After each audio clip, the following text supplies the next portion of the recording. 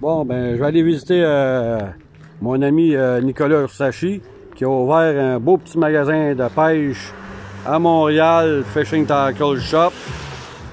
Il vend des produits euh, pour le doré, brochet, chiant, truite, poisson de fond. Je vais aller visiter, puis là, je vais parler de produits de truite, parce que la truite, c'est elle qui rouvre le dé- au début de saison. Fait on va aller parler de pêche à la truite. Salut Nicolas. Ah bien, je m'en viens euh, justement de visiter pour parler d'une coupe de produits pour euh, débuter la pêche à la truite au début de saison. Fait que euh, je m'en viens de voir. Fait que ça va bien? Oui, ça va très bien. Euh, j'ai sorti euh, quelques exemples. J'ai préparé. euh, OK, tu as sorti quelques produits Exact. que tu aimes beaucoup pour la pêche à la truite? Oui. Euh, en même temps, parle-moi donc, euh, tous les produits là, que tu vends, ça vient tout de l'Europe? Oui, c'est ça. le- ça vient d'Italie. Euh, Trabuco, Rapture, Kikap. Et euh, des autres produits pour la carte, ça vient de Hongrie. Donc, autrement dit, tu as beaucoup de produits qu'on ne retrouve pas dans les autres commerces. Oui. OK. Je vais regarder là, tes produits. Tu- on a parlé de monofilament, parce que le monofilament, il ne faut pas dédaigner dessus non plus. Oui. Il a toujours été très bon. On va en parler. Tu m'as parlé d'un mono qui était euh, très, très petit à comparer à plusieurs types de fils, puis qui avait presque zéro élasticité pour un mono, puis anti-abrasif Oui. pour la truite. Exact. Ça, c'est le, le tronc de Trabuco. Euh, exemple, cela, c'est un diamètre de 0,18 qui donne une force de 10 livres ou 4 kilos. Euh, en Europe, on pêche plus avec euh, le diamètre parce que le diamètre, il donne la, la force.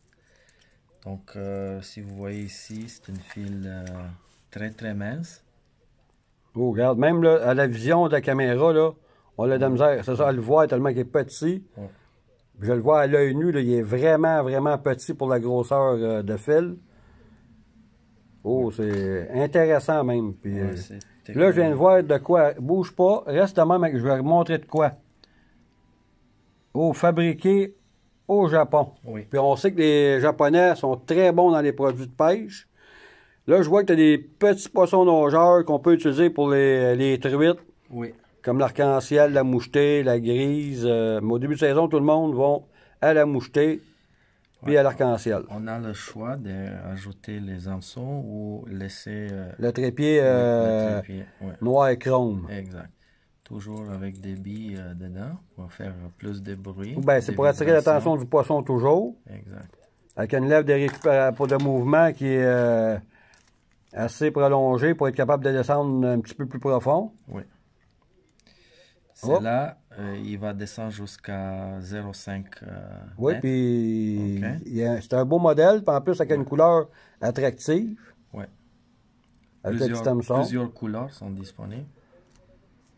Là, je vois que tu as aussi. Oh, Ça, c'est euh, nouveau. oh c'est un coloris que c'est la première fois que je vois. Ouais. Je peux même dire que ça peut soit imiter euh, un petit chabot dans le fond à cause des coloris, un poisson de fond euh, euh, d'or abré ou. euh, Parce que les truites mangent aussi ces poissons-là, les chabots achetés au début de saison. Oh, puis ah, on en a un autre. Oh, celui-là, il est intéressant aussi, couleur holographique avec rose. Oui. Un petit poisson plus fait sur la longueur que trapu. Ça, va être un mouvement différent des autres. Très intéressant. Ah oui, avec des couleurs hologrammes. Ouais. Bio encore. Oui, ah oui, c'est intéressant. Euh, aussi, ben là, euh, je sais que tu as, quelques cuillères que toi, tu as choisi parmi toute la, la panoplie. Tu as choisi quelques cuillères populaires. Ouais. Euh, ça commence avec le numéro 1 jusqu'à le numéro 5. De 1 à 5 les- pour les, les grosseurs des cuillères. Oui, exact. Celle-là, c'est une 2. OK. C'est une 2. Celle-là aussi, euh, quelque Des chose petites cuillères de- ondulantes. oui, faut pas mélanger. On a des cuillères ondulantes, puis on a des cuillères tournantes. Oui. Ça, c'est l'ondulante, puis l'autre, ici à côté, la tournante, Oui. c'est ça. Avec des, des coloris populaires. là. Le rose commence à être très, très populaire euh, depuis quelques années. Oui, c'est très intéressant comme, puis, comme euh, dimension aussi. Oui. Oh, tu as des euh, leurres souples Oui. qu'on peut utiliser si les verres ne marchent pas. Oui, c'est le verre de terre. OK. Imite le verre de terre. C'est que si les leurres vivants, autrement dit, les appâts vivants ne fonctionnent moins, Oui. on peut aller avec des euh, leurres souples, imitation. Puis tu m'as dit qu'il était odorifiant déjà, ces leurres-là. Exact, avec euh, poisson. Un arôme, c'est Oui, ça. Exact. Ah, c'est intéressant, ça. Fait que toujours avoir ça dans son coffre. Si euh, les appâts vivants, les verres ne fonctionnent pas, on peut avoir un résultat différent avec de l'artificiel. Oui, Hop, les asticots, mais chartreuses. Ah, c'est intéressant, ça, avec. Des petits attracteurs comme ça au bout d'un hameçon euh, euh, président, ça peut être très intéressant. oui. Il y a deux euh, T'as deux, deux grandeurs, je pense. Hein? grandeurs, oui. Puis euh, je vois, moi, j'en ai vendu déjà de tes produits dans le passé. Puis je vois que on a un qui est très bon, celle que tu as dans les mains, j'en ai vendu beaucoup Oui, ça, pour la truite et la pêche sur glace. Oui, je vends beaucoup ça. Oui, intéressant. Des fois, moi, j'ai plusieurs personnes qui ont pêché avec ça dans le passé, puis qui m'ont dit qu'ils ont fait de, de la très belle pêche.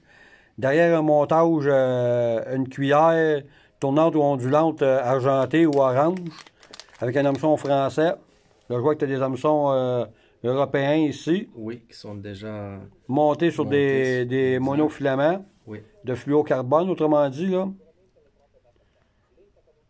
Puis, tu as un petit équipement que tu as sorti, un petit moulinet. ouais, c'est un moulinet euh, qu'on utilise euh, pour la truite. Euh, 7.3. Ultra léger pour la pêche à la truite? Oui, 7 euh, balles bearing. OK. Très Ça roulement à billes. Oui, Il est très beau. Il n'est pas gros. Il est dans le Oui. creux de ta main, là. oui. Puis, euh, montre-moi donc la canne qu'on peut jumeler à ça, la combiner avec. euh, on peut utiliser celle-là qui est une euh, ultralight. Je vais regarder le nom. Aria Master. Aria Master. OK, je vais la, la montrer.